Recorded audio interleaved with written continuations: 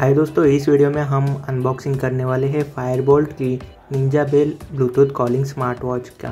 और ये तो है, वैसे तो इसकी कीमत दो हज़ार नौ सौ निन्यानवे रुपये है, लेकिन ऑफ़र के तहत हमने इसे दो हज़ार चार सौ निन्यानवे रुपये में ख़रीदा है।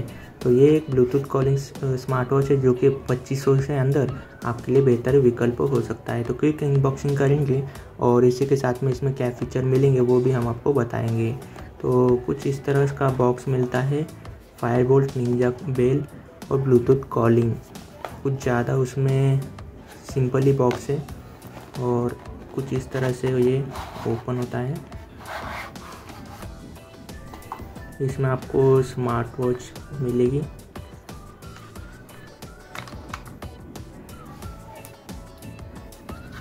साथ ही में इसमें एडप्टर तो नहीं मिलता, लेकिन इसमें आपको यूएसबी केबल मिलेगी जिससे आप चार्ज कर पाओगे।